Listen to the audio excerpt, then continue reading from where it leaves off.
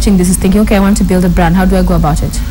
Okay, so I think both, right? Um, you you can fig- you figure it out by yourself because there's a need to be authentic, um, and there's a need for a mentor, so guidance, right? Um, so so first you take a step back, decide, you know, what do I want to do that's different? How do I want to stand out? Um, and then who's doing something similar?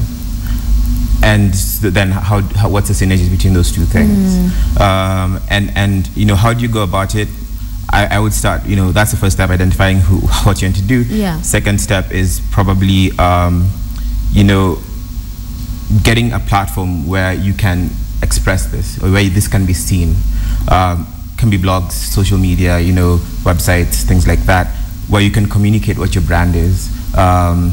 Can be newspapers, or I don't know anything. Um, you can stand by the roadside and communicate your brand.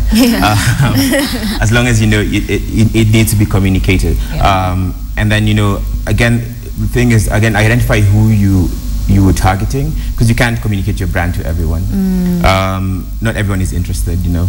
Um, no, not everyone is interested in you know what, what socialites are doing. Um, maybe they're interested Correct. Yes. um, in, in, in, in politics and more, uh, you know, some uh, other kind of different things.